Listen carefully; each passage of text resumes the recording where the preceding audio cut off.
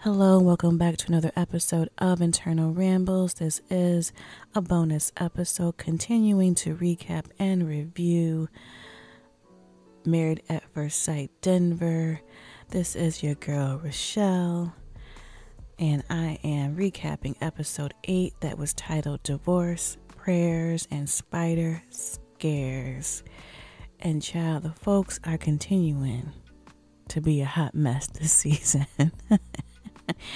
What is going on?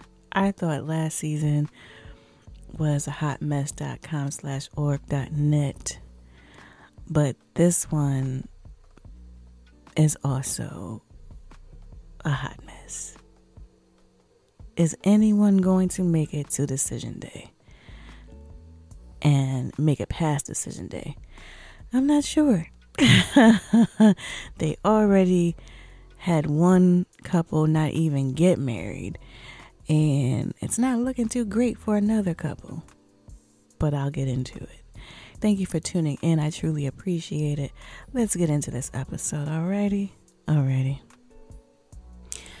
Okay, so the episode starts off with the married couples standing in front of the hotel. They're having just a little chit chat before they all go to the airport and return home. It's time for them to go back to the real world and move in as husband and wife.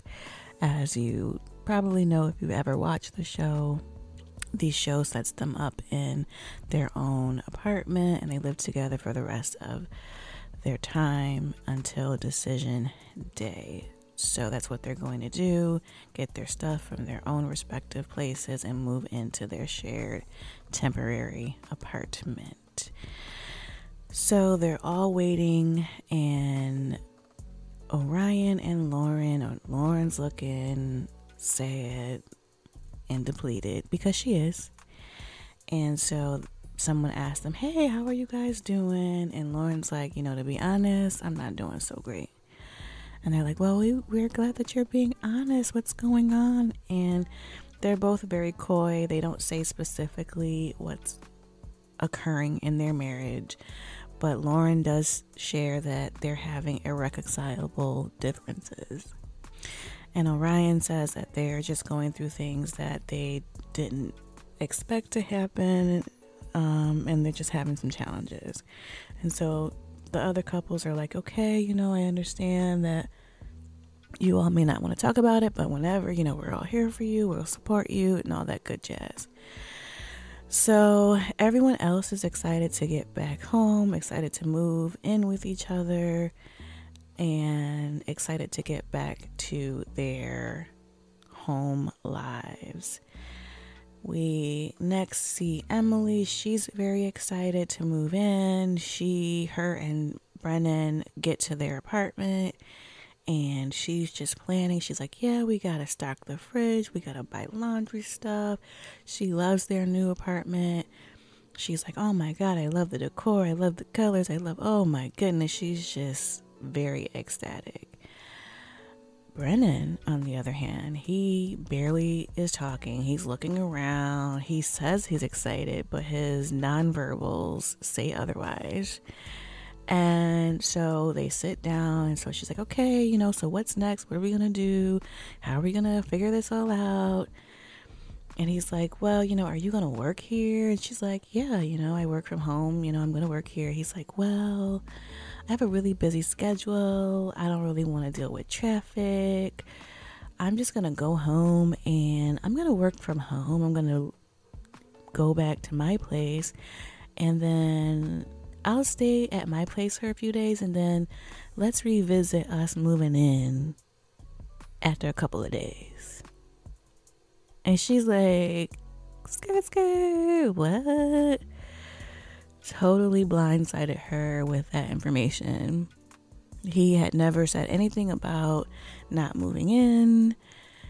She was very excited. That was never a discussion or a topic, never even came up, never was a thought to her, and understandably so. They were both moving into the apartment, like, which is always the plan. You come from the honeymoon, you get your stuff from your own apartment, and then you move in. Like, that's what's supposed to happen. So she's like, okay, I guess that's what we can do. she agrees with it, but she doesn't really agree with it. But she's like, okay, we, you know, let's go back to our own place and then we'll move in later, I guess. So, like I mentioned in my last recap, they there was some sort of a switch. You can notice it when he gets annoyed with her when she asks him in last episode, "Do you like to have fun?" And he just kept repeating that question over and over again. You see like a bit of a switch where he starts to kind of disengage with her. It, whatever happened, happened, and he starts to detach around that time. So, child, something going on, okay? okay. But she's confused. She doesn't know what's going on, but she I think she doesn't want to ruffle any feathers and she goes along with them not moving into the apartment together just yet. Another couple that has trouble in paradise. What is going on in this god darn show? So they do not move in with each other right away. Next, we have Cameron and Claire. They go to their shared apartment. They're both excited about moving in together.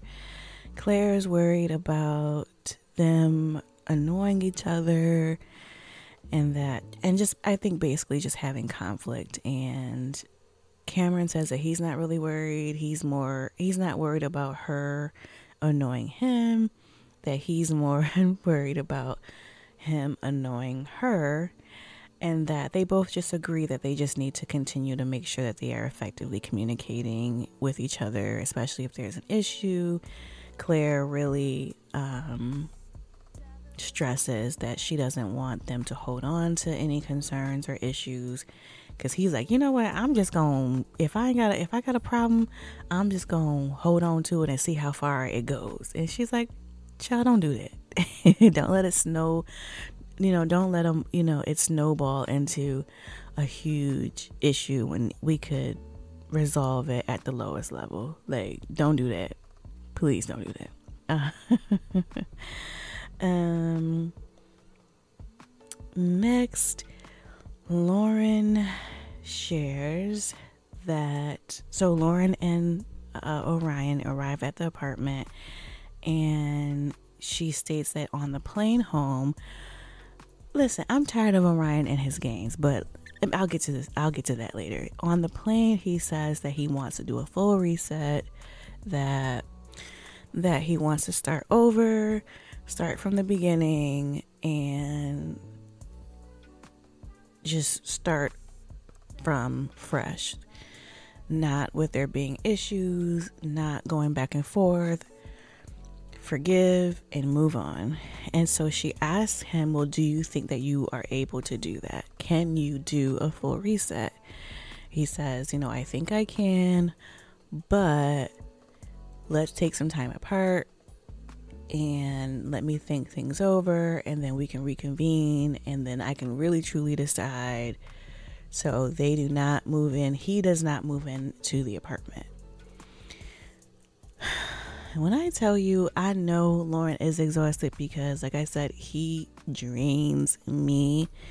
He says one thing at 302, but by 555, it's another thing. Say what you need. When they say stand on business, stand on your word. And she has said this to him. Say what you mean, bruh. Eh, but then, period. Don't, ain't no comma. ain't no colon ain't, ain't eh, you know what I'm saying? Ain't no apostrophe. That's it. He just goes back and forth so much. It's like, well, okay, so what, what, what do you mean right now? Like, what's the, what's the meaning today? Oh my gosh. So, anyways, he says, well, you know, I think I can, but let me let you know in a few days. so, more on them a little bit later. Emily goes to Brennan's apartment to see how he lives, how he lived when he was single. And she's just very positive and very conversational. Brennan barely speaks. It almost looks like he bar- he barely looks at her in the eye, but that could just be me being me. I don't know if that really happened. but he he definitely just is very minimal engagement, minimal conversation, and she's just like, I don't know what is going on. What has happened since the honeymoon? He was not like this. I'm trying with him and it's just such a change. And he's like, you know, I you know, I'm still to be here at my apartment. I'm still to work here. We'll reconvene in a few days and we'll discuss moving in. He doesn't say, well, I'll move in in a few days. He just says it'll be a discussion. And I'm like, Cha, Brennan done checked out. He ain't saying it, but his actions are speaking volumes, okay? Volumes. And he's stressing Emily out, okay? Okay. Um, uh, Cameron and Claire. Claire goes to Cameron's place, and that was a really positive experience. She gets to see more about him and his life, and she gets to see like his medals that he's done for uh, marathons that he's done, and that he has done rescue missions, uh, mountain climbing missions, rescue missions. She's like, I didn't know any of this. I didn't know you did any of this. And he's like, Well, if you just would have asked me, I would I would have tell you. I would have told you. And she's like, I'm pretty sure I've asked like what your hobbies were, and you know, I don't know. Cameron's a very interesting uh, individual. Like I think he's the type of person like he will tell you things, but you really have to like ask specific questions, or you know, in order for him to tell you. He'll give you specific answers if you ask him specific questions. and Austin shows Becca his apartment. He actually has a roommate. And so one of the things is that Austin is he states to Becca when we after decision day because we both have leases, we should just move back into our own apartment our own homes until our leases run out, and then we'll figure out where we're gonna live. And, she, and Becca was like, uh, uh, no. Since you have a roommate, it doesn't make sense that I would move in with you. You could just move in with me because my lease is month to month. I'm not locked in like you are. Just move in with me, and and we'll be all good. I don't even know what that was, but Becca was like, I ain't letting you go, boo. Just move on with me and we'll be good. Then, and a little bit later, we see a moment with Lauren. She's doing her hair and she shares that, of course, Orion has flipped again and texted her that he wants a divorce. He ain't gonna be able to do it. I tried, ain't no reset. I'll be on the show, but I ain't trying to be married to you. And Lauren was like, I can't even decipher what that means. I'm pretty sure in order to be on the show, you gotta be married. So, you alright? You alright? It reminds me of I can't think of her name, but she didn't want to be married to old boy, but she was like, "I'll still be a part of the show. I'll still do the group meetups, but I ain't gonna be married. To, I'm not gonna be married to you." okay.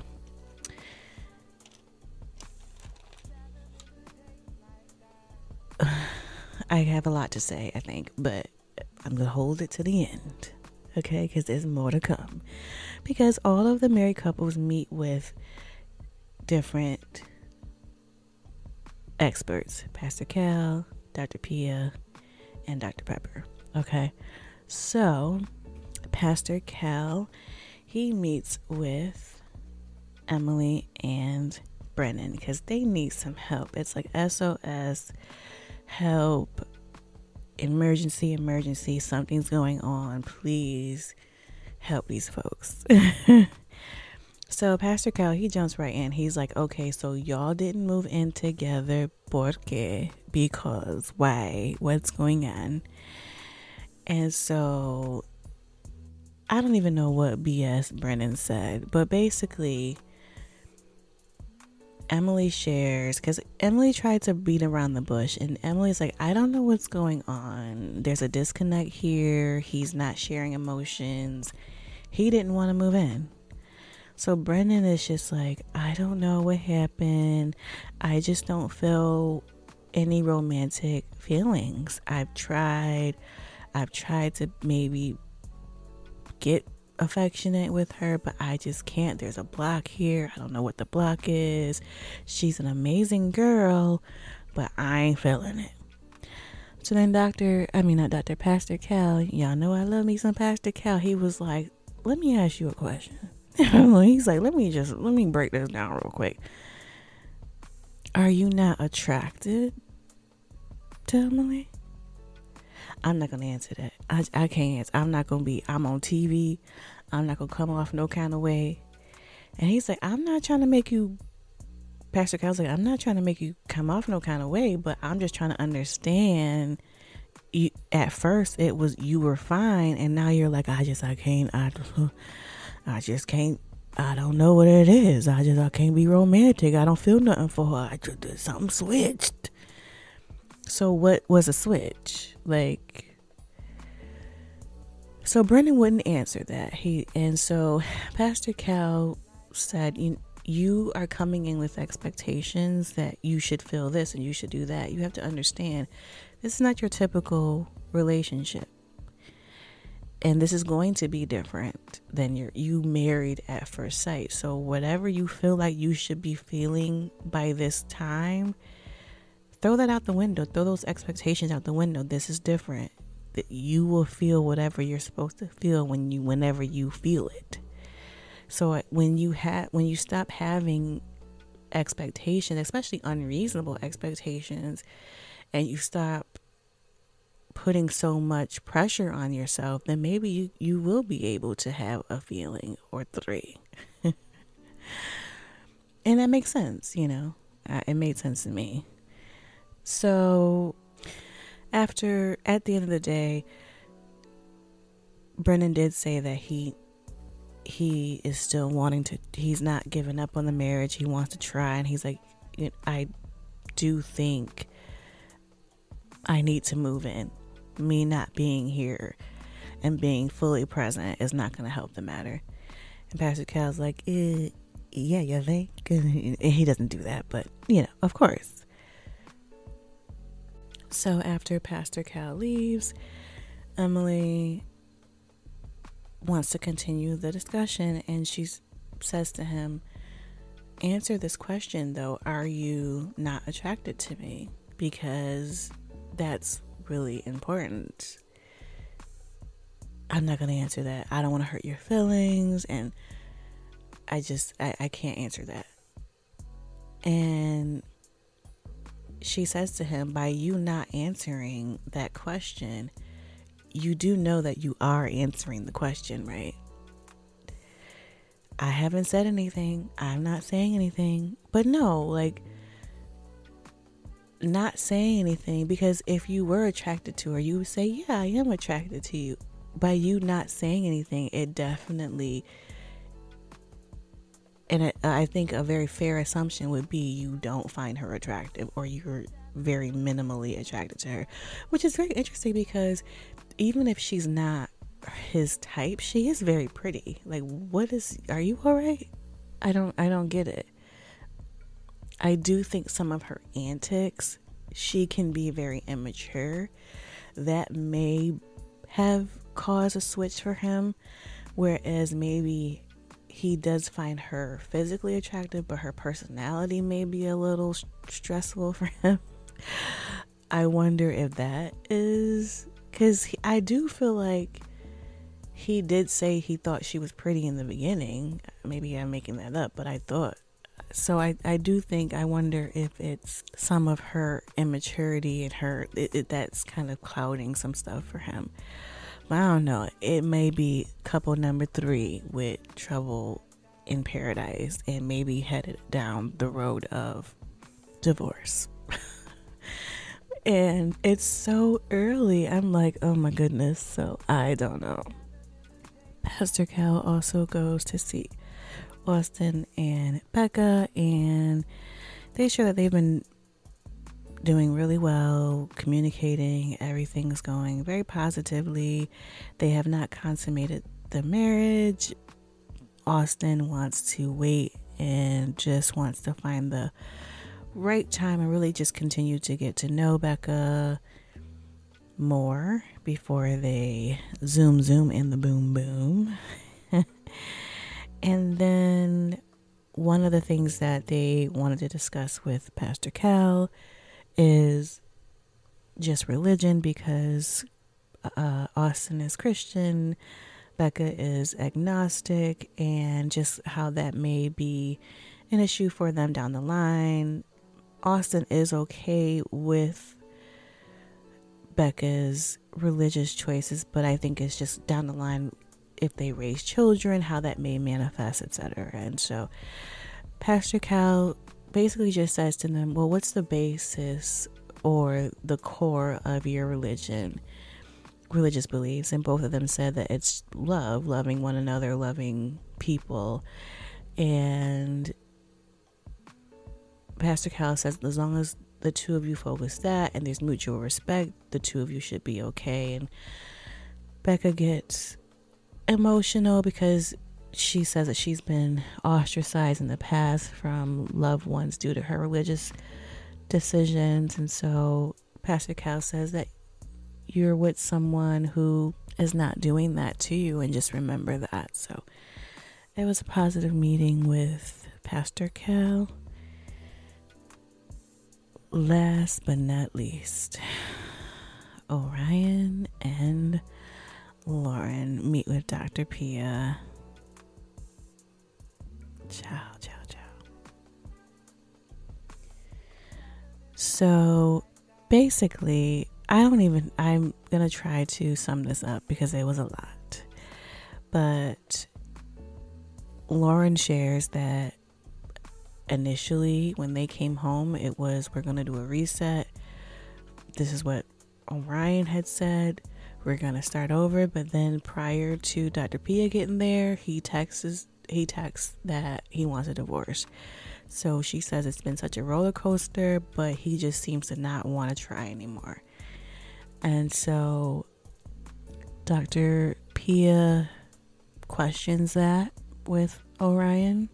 And Orion basically says, "You know, I thought maybe I could I would be able to, but after having some time away and really processing and really thinking, you know, I just don't I don't I don't know if I can do that. Lauren, when we get into an argument or a discussion, especially about issues that we're having, she just goes to zero to 100, and I just can't deal with that. I have yet to see Lauren go from zero to 100. Does she call Orion out on his stuff? Yeah. Mm hmm. And understandably so, because it's a lot of stuff to call Orion out on when you are passionate about something, do you get a little elevated? But zero to 100, what's that? And I think, you know, this goes to the stigma I think that is on black women in particular. This perception of the angry black woman. Anytime there's a little bit of an ang- elevated voice or whatever, oh my goodness, oh Lord, there they go. You know, it's like, child, please. I didn't see it.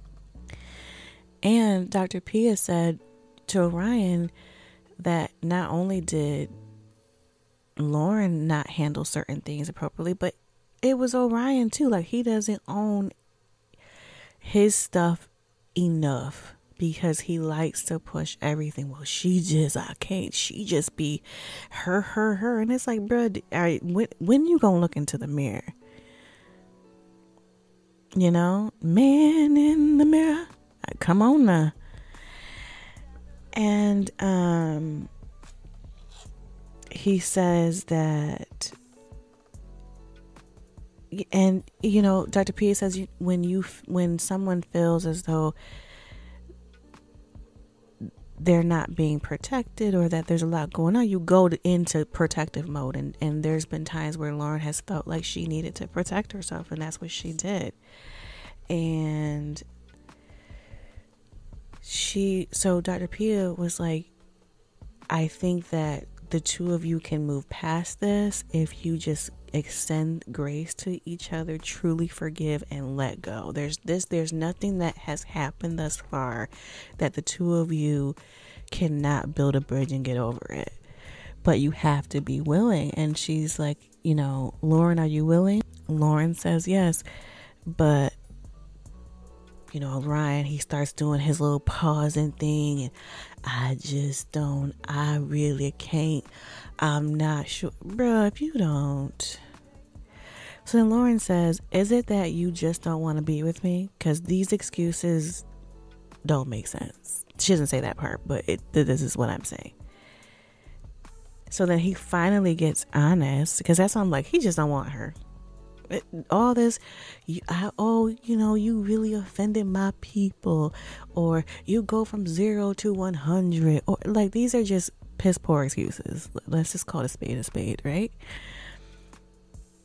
She said do you just not want to be with me? Like let's just I, i'm tired because this is her just this was her saying i'm i'm tired. Truth is i'm tired.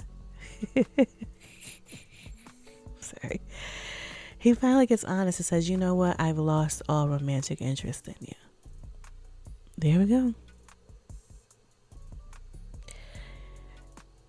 And so Dr. Pia, she interjects and she's like, How does control show up in your life? He's like, I'm not trying to trying to control. Yes, you are. You are controlling because you felt vulnerable and you're and you feel you feel like you didn't have control of the situation so you're leaving so that you don't have to be vulnerable and hurt anymore. You're controlling the situation by leaving. You were hurt. You felt vulnerable. You didn't know what to do so you're leaving. Like you know what? I'm out. But let me tell you what what really is going on too I think he was talking to Pastor Cal. I'm not sure who he was talking to, but he mentioned that he comes from a matriarch family where the woman runs the household. He's currently living with mama. And he said, I ain't trying to do that no more. In my household, in my marriage, I'm going to be running the show. And he realized that Lauren is a strong black woman. And even if she lets the man be the household, she ain't gonna just be sitting there lying down on the floor letting you run all over her. She gonna have a little pushback.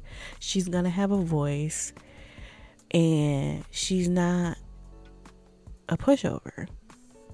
And so he saw the type of woman that he didn't want, which is probably similar to his mama. And he said, Oh no, I got to get out. I'm not going to be married to a woman like my mama.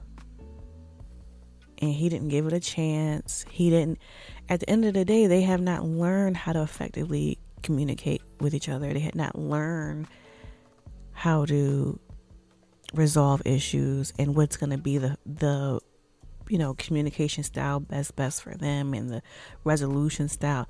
They don't know each other like that. Like like Dr. Pia said, like y'all just getting to know each other but he saw a little glimpse potentially of what the life was gonna what the future may was gonna hold. And he said you know what? Like chris brown said deuces. And he wasted them folks time at that show. He wasted lauren's time. He wasted my time. He drained lauren. He drained me. He drained us. And they picked the wrong one. So lauren and orion are divorced are getting divorced however you say it. They they are kaput.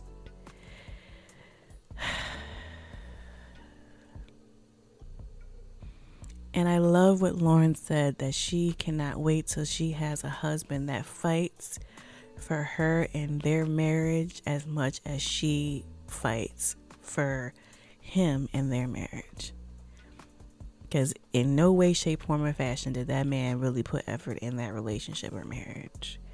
He got a little, you know, a little friction, a little heat, and he got on up out that kitchen. And at the end of the day, I'm glad that he didn't draw it out and waste her time long, long, long into this show and, and into that marriage. Because he is, that would have just been truly a waste of time. And that's that. That's this episode. So, uh, all the best to Lauren. And I don't have, you know, all the best to you, Orion, but you wasted folks' time. Emily and Brennan. I don't know what's going on, Brennan. I just think something happened. I I think I don't, I'm not sure, but he needs to move in and really give a good old college try and experience her and really get to know her before he checks all the way out. So it's not looking great for Emily and Brennan, but I have like 10% of hope. Austin and, and Becca, they seem to be doing fine. I hope that they continue on a positive path. They are the ones that are doing the best currently. Cameron and Claire are not doing bad either. They, I still have a lot of hope for them too. So we shall see. I think they need to give Lauren a reset. Find her somebody else, child. But that is that. That is the recap of episode 8 Married at First Sight Denver. I forgot to mention this in my episode, my Thursday episode this week. I forgot to go back to it. I was going to make a little mention about Ready to Love, Ready to Move, Make a Move. That show. is so interesting it because I really think the women need help in picking their men. They're not making the best decisions. It's so evident at who's staying, who's not staying, who